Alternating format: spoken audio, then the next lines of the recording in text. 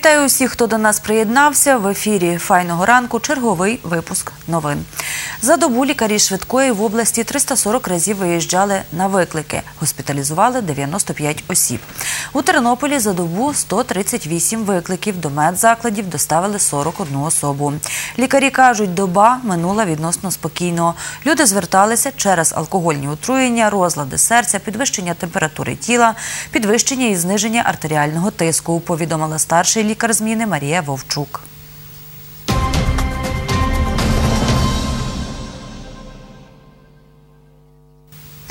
Тринадцять пенсіонерів, які протягом року проходили лекції та семінари зі здорового харчування від соціальної ініціативи Єднання поколінь, о 9.30 візьмуть участь у кулінарному майстер-класі. Кухар тернопільської ресторації покаже е, варіанти приготування каші кускус, курячого філе, буряка на пару. Бюджет кожної страви до 80 гривень, повідомила координатор соціальної ініціативи Єднання поколінь Ольга Гордієнко. Учасників майстер-класу пригостять безкоштовним сніданком. Окрім того, що розказують, як приготувати ці страви, е, наші учасники можуть спробувати. Основною умовою це є те, щоб можна було дозволити, щоб міг собі дозволити кожен з учасників щось з цієї страви приготувати вдома.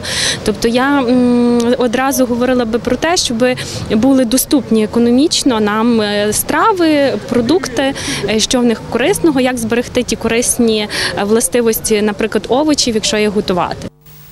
Соціальна ініціатива єднання поколінь працює з жовтня 2017 року. Ця платформа створена для підтримки людей похилого віку. Повідомила координатор соціальної ініціативи Ольга Гордієнко. –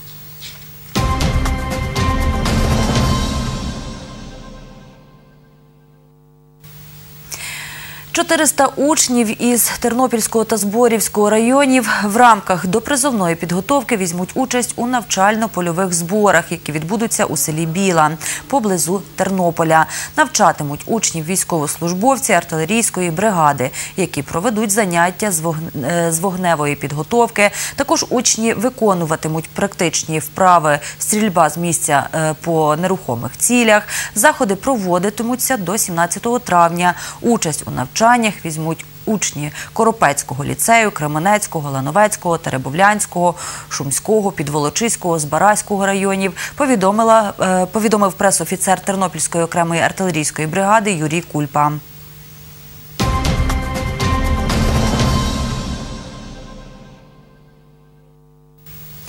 Сьогодні о 10-й годині у Тернопільському господарському суді має відбутися судове засідання у справі щодо власності підприємства АМН Транс, яке знаходиться по вулиці Гайовій, 44 у Тернополі. Позивач.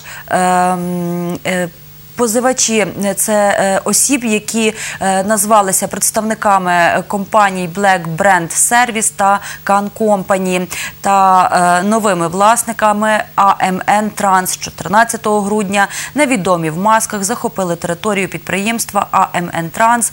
Сторона відповідача Руслан Дрозд і Євген Король, які кажуть, що вони є власниками АМН Транс. Руслан Дрозд повідомив, що 14 грудня 2018 року невідомі в масках захопили територію підприємства і представилися працівниками приватної охоронної фірми.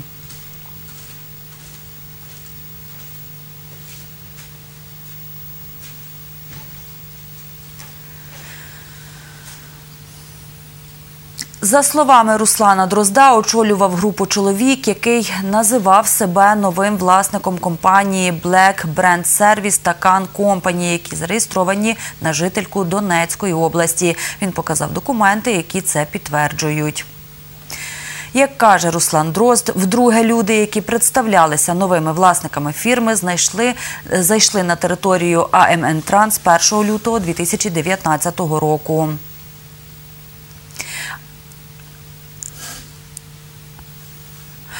А з 31 січня на вулиці Гайовій, 44 у Тернополі відбувалась Навчальна операція поліції Грім повідомив начальник Нацполіції області Олександр Богомол. За його словами, там працювали 70 правоохоронців. Зі сторони громадськості було 40 осіб. Тоді Руслана Дрозда і Євгена Короля е, впустили на територію фірми. Як повідомив Олександр Богомол, поліція е, поліції виявили підроблені документи щодо власності підприємства і відкрили кримінальне провадження. Підприємство АМН Транс було зареєстроване 24 березня 1998 року. Ем, Це підприємство надає такі послуги, що е, вантажні автомобільні перевезення, виробництво приладів та автотранспортних засобів, надання в оренду нерухомого майна. Це інформація з єдиного державного реєстру реєстру юридичних осіб, фізичних осіб, підприємців та громадських формувань. Це всі новини випуску. Наступний дивіться о 8.30.